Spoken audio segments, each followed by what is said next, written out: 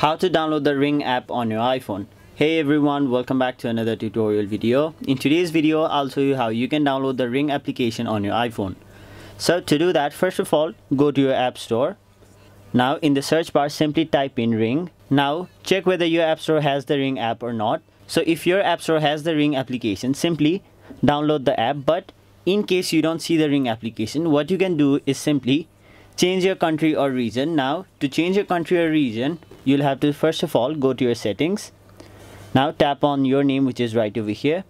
After that tap on the option payment and shipping.